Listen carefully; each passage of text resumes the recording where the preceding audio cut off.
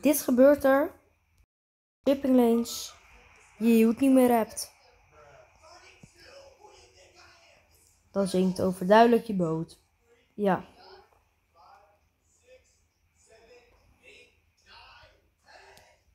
Hij gaat sowieso zinken. Dit is echt niet goed. Maar ik deed het voor jullie. Even om te proberen.